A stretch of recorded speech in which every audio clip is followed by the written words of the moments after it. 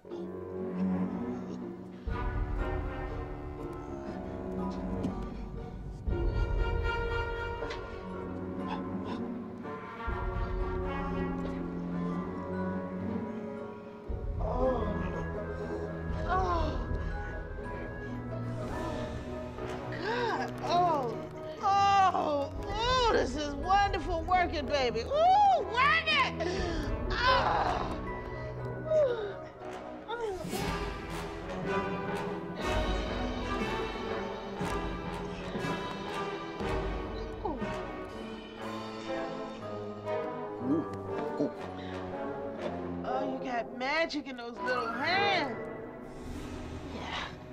I've always had a way with the ladies. Huh?